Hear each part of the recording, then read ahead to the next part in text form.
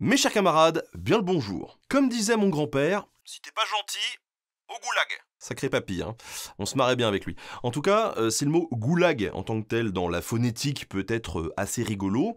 Eh bien, il désigne une réalité qui l'est quand même beaucoup, mais alors beaucoup moins. Aujourd'hui, dans Nota Bene, je reviens pour vous sur l'histoire du goulag. Préparez-vous pour du fun. Le terme goulag fait référence au système de travail pénitentiaire géré par la police politique en URSS. Ce mot est en réalité l'acronyme en langue russe de Direction centrale des camps. Mis en place progressivement dans les années 1920, cette institution emprisonne et fait travailler jusqu'à 5,4 millions de personnes à la fin du règne de Staline. Soit 3,5% de la population totale de l'URSS. Le goulag est constitué de camps de concentration installés sur tout le territoire soviétique. Il sert à éloigner les personnalités jugées dangereuses par le régime et à briser toute forme d'opposition. Mais surtout, comme on va le voir, il sert à utiliser les détenus comme main-d'œuvre vraiment pas chère.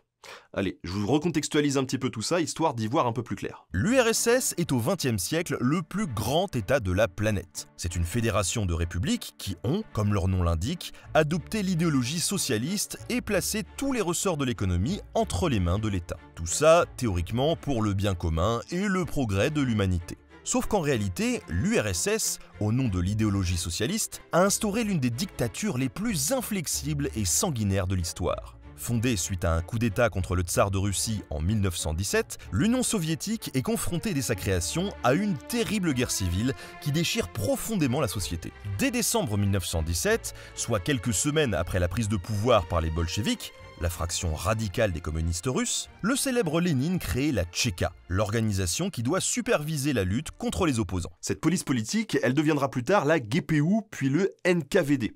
Elle prend rapidement une importance considérable jusqu'à devenir un véritable État dans l'État. Pourquoi? Eh bien parce que la guerre civile fait rage. Les soldats fidèles au tsar se battent pour reprendre le pouvoir et de nombreux citoyens manifestent leur opposition au communisme. C'est dans ce contexte de chasse aux ennemis intérieurs que sont créés, dans les années 1920, les premiers camps de travail pour déporter les opposants au nouveau régime. S'inspirant en partie des bagnes du tsar en Sibérie et en Extrême-Orient, les soviétiques vont rapidement innover pour créer un système concentrationnaire unique, le goulag. Et vous allez le voir, l'innovation, ça les connaît.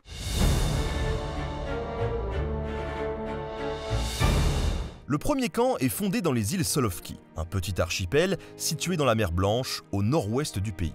Un monastère y est réhabilité en camp de travail, c'est la première expérience concentrationnaire en URSS. Les Solovki deviennent en quelque sorte le laboratoire du goulag. L'arbitraire le plus total y règne et l'hiver rend les conditions de travail épouvantables. Et c'est ce qui fera l'une des spécificités de ces camps, le mélange entre toutes les catégories de prisonniers. Au Solovki, les détenus sont chargés notamment de construire des routes et d'abattre des forêts. En parallèle, la communication officielle soviétique tente de faire passer le goulag pour des centres de travail destinés à la réinsertion. Le discours gouvernemental est celui d'une institution où les détenus peuvent se cultiver, apprendre les joies du travail collectif et d'où ils ressortent grandis, prêts à bâtir la société communiste. Oh, sur le papier, j'aime bien, hein. ça donne envie un petit peu de la vivre, cette aventure collective. Dès 1928, en tout cas, suite aux premières publications qui dénonçaient le système concentrationnaire à l'étranger, un film de propagande est produit pour montrer un visage idéal du goulag. Détenu souriant, jouant aux échecs devant un feu de cheminée, travailleur exalté, le tableau est soigné. On fait aussi venir au Solovki l'écrivain Maxime Gorky, une célébrité de la littérature socialiste révolutionnaire qui, même s'il n'est pas dupe des mises en scène auxquelles il assiste, rédige à son tour un article qui vante le camp des Solovki. Dans la réalité, bien sûr, c'est assez différent, vous l'imaginez bien. La rééducation par le travail est un argument de la propagande qui n'a pratiquement jamais été appliqué dans les camps.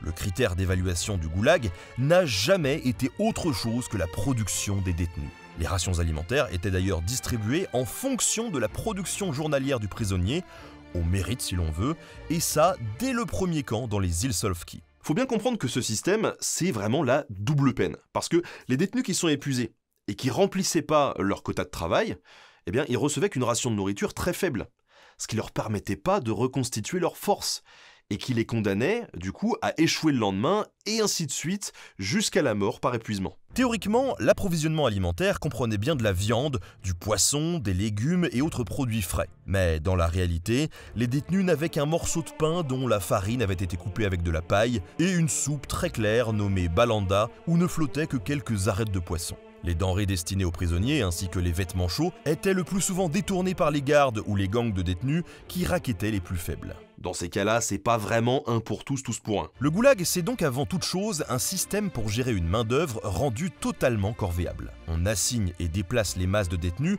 selon les besoins du moment. Construire une voie de chemin de fer, une usine, une mine, un aérodrome, défricher des forêts, etc. L'ensemble de ces esclaves, puisque c'est de cela qu'il s'agit, est appelé contingent spécial par le pouvoir soviétique. Dans les années 1920, le camp des Solovki fait la preuve de son efficacité pour le pouvoir central, parce que il ne coûte pas grand-chose et que les travaux sont effectués. Alors, Bien sûr, les détenus meurent par centaines, mais bon, après tout, hein, euh, c'est pas très important puisque d'autres les remplacent. Donc le système est prêt à être étendu au reste du pays.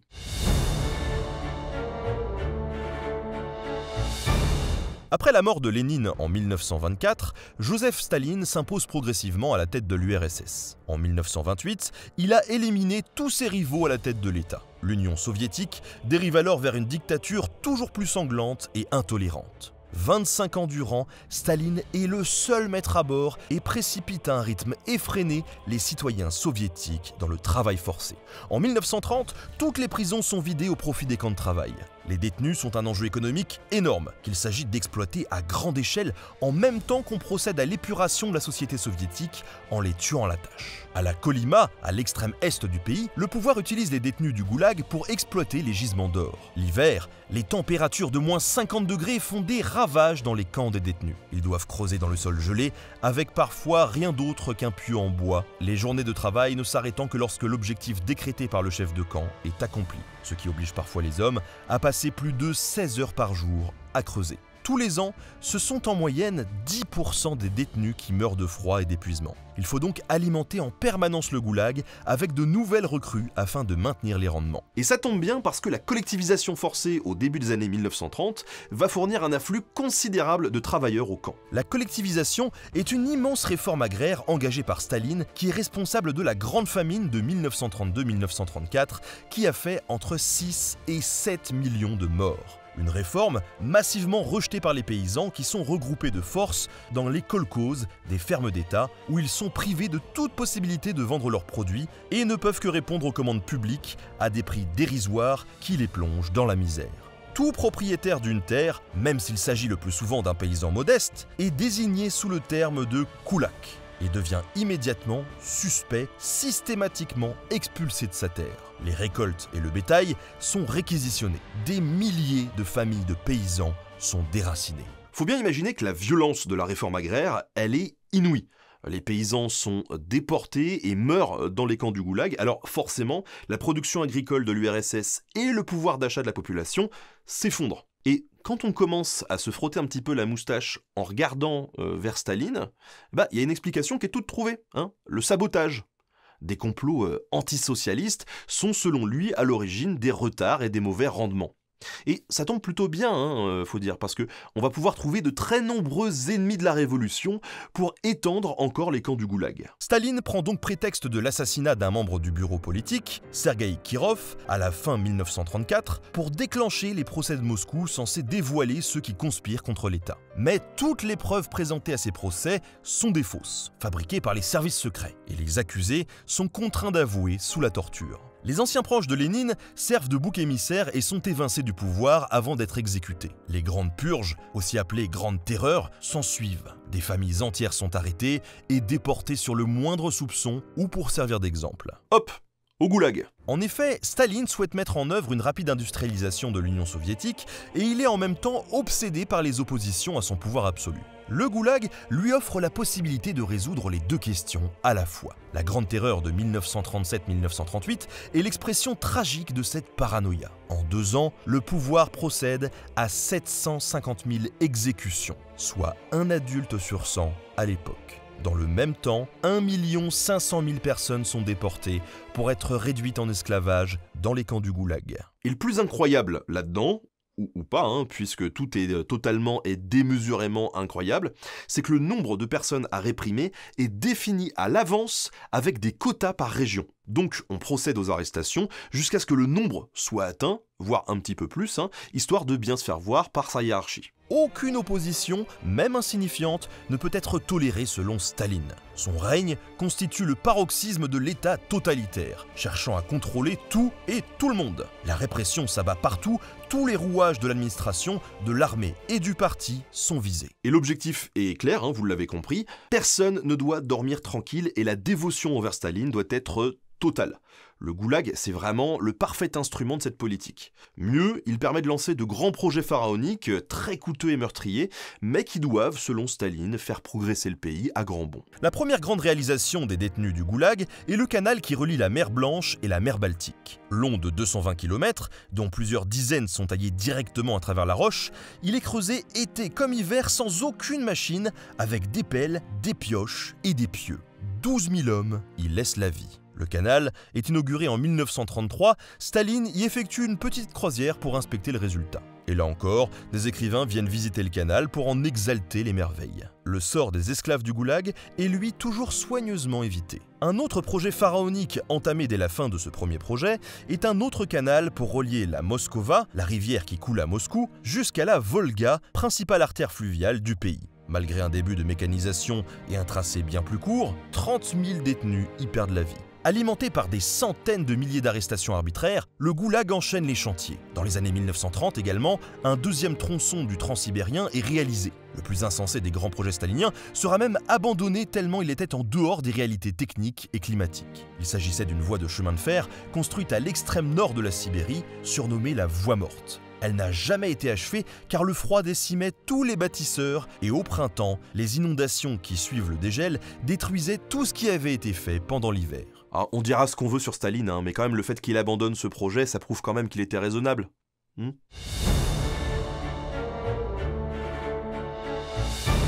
Pendant la Seconde Guerre mondiale, le goulag ne disparaît pas, bien au contraire. En 1939, l'invasion de la partie orientale de la Pologne par l'URSS, prévue par le pacte avec l'Allemagne nazie, est l'occasion de réprimer impitoyablement les Polonais. 25 000 membres de l'élite sont exécutés, 110 000 autres Polonais sont déportés au goulag. Paradoxalement, cet exil au goulag permet à de nombreux juifs polonais, du moins ceux qui survivent aux travaux forcés, de ne pas être gazés dans les camps d'extermination nazis.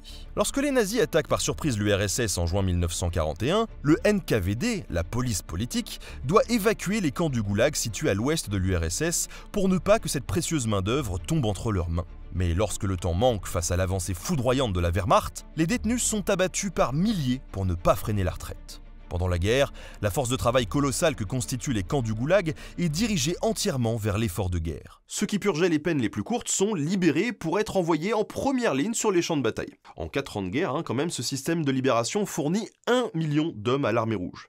Et pour ceux qui purgeaient euh, de longues peines, eh bien, ils voient tout simplement leur libération annulée, puisqu'il faut quand même euh, produire toujours plus pour battre les nazis. La Seconde Guerre mondiale a aussi particulièrement exacerbé la répression des minorités nationales jugées dangereuses. Dans l'immense territoire de l'URSS, les Russes n'étaient finalement qu'une composante parmi d'autres. Et les citoyens d'origine allemande, polonaise ou finlandaise sont alors massivement expulsés des grandes villes où l'on craignait leur sabotage. L'attaque surprise des nazis en 1941 va déclencher l'arrestation préventive d'un million de citoyens soviétiques d'origine allemande. Direction, vous pouvez le dire avec moi, le goulag. Il va vraiment falloir que je compte le nombre de fois où je prononce le mot goulag dans cette vidéo parce que je pense qu'on va battre un record. Dans les camps, le premier hiver de guerre décime les détenus. Les régions de l'Ouest qui fournissaient le plus de denrées alimentaires sont occupées par l'ennemi et l'armée reste prioritaire pour les approvisionnements. Les camps connaissent la famine et les épidémies comme jamais. Jusqu'à 25% des prisonniers ont trépassé début 1942. Le pouvoir central, qui compte sur cette main-d'œuvre pour remplir ses objectifs économiques, demande aux chefs de camp de limiter la mortalité à seulement 2 par an. Ce qui, notez bien, est déjà énorme. Impossible à tenir, cet objectif n'est atteint que par le maquillage des chiffres. On libère simplement ceux qui agonisent pour que leur décès ne soit pas enregistré dans la colonne des détenus, mais dans celle des civils. Ils sont malins quand même, non? Quand la guerre bascule enfin en 1943 et que l'armée soviétique regagne du terrain, les déportations reprennent de plus belle. Les soviétiques libérés de l'occupation allemande se voient accusés de collaboration avec l'ennemi sous prétexte qu'ils ont travaillé pour l'Allemagne. On rappelle que les types n'avaient bien sûr pas le choix et subissaient une répression extrêmement violente de la part des nazis. Mais ça, Staline s'en moque. La euh, libération par l'armée rouge n'en est donc pas une pour beaucoup de soviétiques qui rejoignent directement les camps du goulag pour motif de trahison. Les centaines de milliers de soldats allemands faits prisonniers entre 1943 et 1945 sont également déportés et soumis aux travaux forcés. 20% d'entre eux y laissent la vie. Pendant la Seconde Guerre mondiale, le goulag a donc pris de l'ampleur. Instrument de contrôle social, il a joué un rôle décisif dans la production industrielle. La fin de la guerre ne marque pas la fin du goulag pour autant. En réalité, le pire est à venir.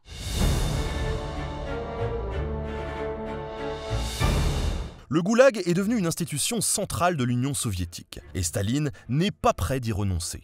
Après-guerre, les lois sont encore durcies pour alimenter les camps. Un simple vol peut valoir 10 ans de travaux forcés à son auteur. La mendicité et le vagabondage sont perçus comme le terreau de la révolte et inquiètent les autorités. Pour cela, tout délit, même mineur, est assimilé sous Staline à de la contre-révolution et cette criminalisation vise d'abord les pauvres.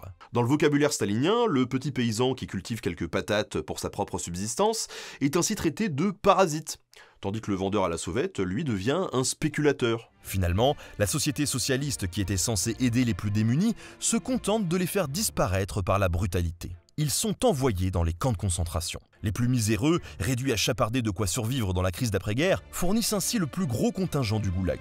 Les hommes représentent en général aux alentours de 90% des détenus, mais beaucoup de femmes, veuves de guerre notamment, sont contraintes de voler pour nourrir leurs enfants et sont déportées sans pitié. Elles sont assignées aux mêmes tâches pénibles que les hommes. Ça par contre, euh, l'égalité homme-femme en URSS, c'était un peu plus développé qu'ailleurs. Quoique. Pendant leur captivité, ces femmes subissent de terribles sévices sexuels de la part des gardiens et beaucoup sombrent dans la prostitution pour essayer d'échapper aux travaux les plus durs. Au goulag, il y a aussi de très nombreux enfants, orphelins des citoyens fusillés ou bien carrément nés dans les camps. Ceux-là sont séparés de leur mère à l'âge de 2 ans ou dès leur naissance et ils grandissent dans l'univers carcéral. Ne recevant pratiquement aucun soin, leur mortalité est phénoménal. Complètement désocialisés, ceux qui survivent sont vraiment réduits à l'état de bêtes sauvages. Dans Le Vertige, Evgenia Gainsbourg, une ancienne détenue qui a raconté son expérience, rapporte que seuls quelques-uns de ses enfants de 4 ans prononçaient quelques mots décousus. La plupart du temps, ils communiquaient par des cris inarticulés, par des gestes, par la bagarre. Les enfants dont les parents ont été déportés au goulag restent le plus souvent à errer dans les villes du RSS sans bénéficier d'aucune aide de l'État. Ils sont pour beaucoup réduits à la délinquance pour survivre et finalement arrêtés et déportés eux aussi. Sous Staline, la majorité pénale est même abaissée à 12 ans, âge à partir duquel les enfants devenaient une main-d'œuvre pour l'État. Le travail forcé concerne bien évidemment aussi les scientifiques et les ingénieurs, parce qu'ils ont également des compétences à valoriser. On l'a dit et répété dans cet épisode, c'est un effort collectif. Ces derniers sont internés dans des unités appelées charashki, qui sont en charge d'innover et de superviser les grands projets. Ils jouent notamment un rôle majeur dans l'obtention de la bombe atomique par les soviétiques en 1949. À l'apogée du goulag, au début des années 1953, il y a au total plus de 445 000 employés de l'administration pénitentiaire, dont 230 000 gardiens de camp. Malgré ce nombre impressionnant, ils sont, tenez-vous bien, en sous-effectif chronique. Et il est impossible pour eux de suivre à la trace les 2 millions et demi de détenus. Les gardiens délèguent pour ce faire une partie de l'encadrement aux bandes organisées de prisonniers criminels, qui font régner la terreur dans les rangs. Il ne faut pas oublier que les gardiens sont aussi des victimes du système concentrationnaire soviétique. Souvent de jeunes militaires, exilés loin de chez eux. Leurs conditions de vie sont presque aussi déplorables que celles des prisonniers. Mal payés, isolés, ne recevant que très peu de permissions, ils sont confrontés quotidiennement à la violence, sont souvent persécutés par leurs supérieurs et ils sont très nombreux à se suicider par désespoir. Ah, je vous avais prévenu que l'épisode allait être fun. Hein.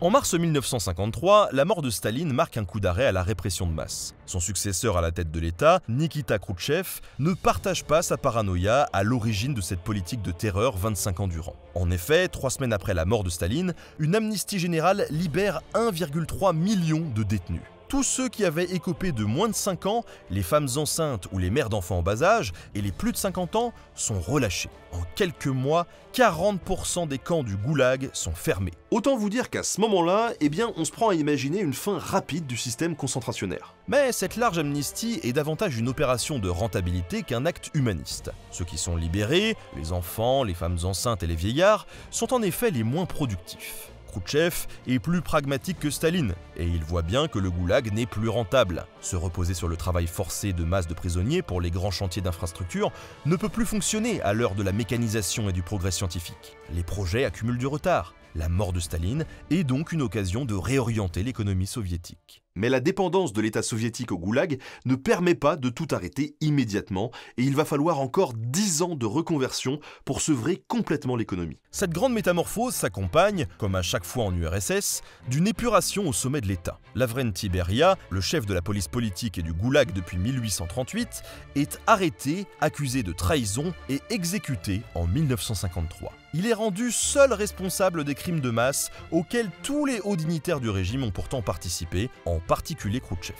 En 1953, le retour des centaines de milliers d'exilés dans les grandes villes de l'ouest de l'URSS s'avère difficile à absorber pour la société. Nombre d'entre eux ont tout perdu et aucune indemnité n'est prévue pour eux puisqu'ils sont simplement libérés et pas innocentés. Ils forment alors souvent des groupes de vagabonds, totalement déshumanisés par leur expérience au goulag, commettant des violences ou cherchant simplement à survivre en volant leur nourriture. Même en essayant de s'intégrer convenablement, les anciens détenus restent discriminés dans la société soviétique, par une indication de leur séjour au goulag sur leur papier d'identité. Dans les années qui suivent, les projets fous de Staline sont abandonnés, notamment un tunnel pour relier l'île de Sakhaline au continent, à l'extrême est du pays.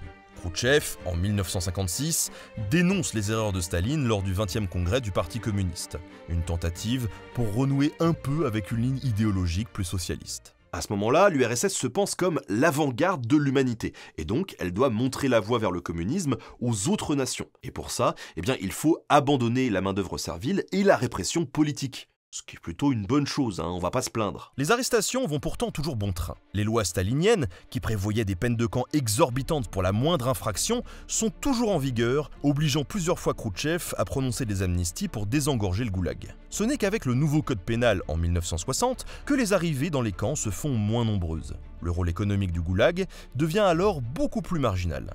Les années 1950 voient aussi s'élever de nombreuses critiques contre le système concentrationnaire, en URSS comme à l'étranger. En Occident, on connaît en particulier le témoignage d'Alexandre Solzhenitsyn. Envoyé en détention pour avoir critiqué Staline dans sa correspondance privée, il purge 11 ans de camp entre 1945 et 1956. À sa libération, il entreprend alors de raconter son expérience, tout d'abord sous forme de fiction. Il est en partie soutenu par Khrouchtchev, qui essayait d'effacer ce terrible héritage. Il reçoit pour ses romans le prix Nobel de littérature en 1970. Mais lorsque Solzhenitsyn rédige L'archipel du Goulag, une somme phénoménale de témoignages sur l'univers concentrationnaire, la police politique le harcèle et va jusqu'à torturer ses proches pour dénicher les manuscrits de l'ouvrage avant sa publication. Il faut dire qu'entre-temps, le pouvoir a changé de main à Moscou et que Léonid Brejnev, le nouveau maître de l'URSS, refuse qu'on critique ouvertement le Goulag.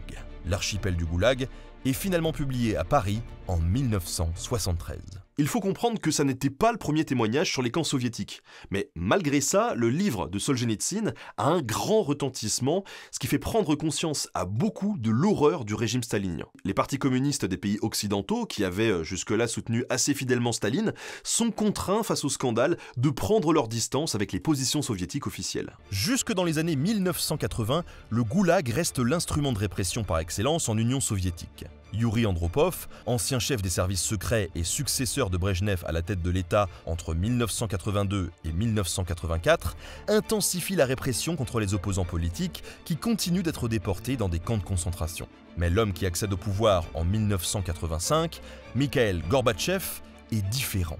En effet, un de ses grands-pères a été déporté en 1933 et l'autre a été torturé et tué en 1938 dans les geôles de la police politique. De par son histoire familiale, Gorby, comme on l'appelle, c'est pas vraiment un fan du goulag. Pourtant, même sous Gorbatchev, des centaines d'opposants croupissent toujours en prison. Il ne libère les derniers que lorsqu'un nouveau scandale éclate sur leurs conditions de vie à la fin des années 1986. C'est l'amnistie définitive qui signe la fin du goulag, la fin des camps de concentration soviétiques. Même s'il a pu parfois faire preuve de violence, l'action politique de Gorbatchev est récompensée du prix Nobel de la paix en 1990. Sa politique d'ouverture, la Glasnost, lance pour la première fois un vrai débat sur les problèmes structurels de l'URSS, dont le goulag. À la fin des années 1980, Gorbatchev parle ouvertement d'arbitraire, de répression injuste, d'abus de pouvoir, de falsification des faits par les autorités, quitte à briser définitivement la crédibilité de l'État soviétique. La parole se libère, tous les ouvrages concernant le goulag sont librement édités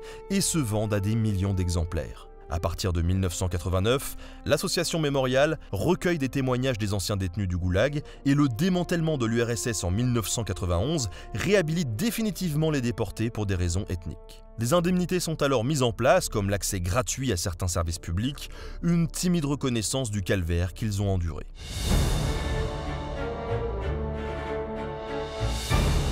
Le goulag est à l'origine de sociétés encore profondément traumatisées, même 30 ans après la chute de l'URSS. Plus d'un million et demi de personnes y sont mortes du fait de la faim, de la fatigue, du froid ou sous les balles de leurs gardiens. Pour la seule période de 1930 à 1952, ce sont au moins 28 millions de personnes qui sont passées par le goulag c'est de très loin la plus grande entreprise concentrationnaire de l'histoire, qui a déraciné des millions de personnes et détruit autant de familles. Pourtant, il existe toujours aujourd'hui un contre-discours extrémiste qui valorise le goulag. Pour certains, le goulag était une nécessité historique pour pacifier la société soviétique et industrialiser le pays.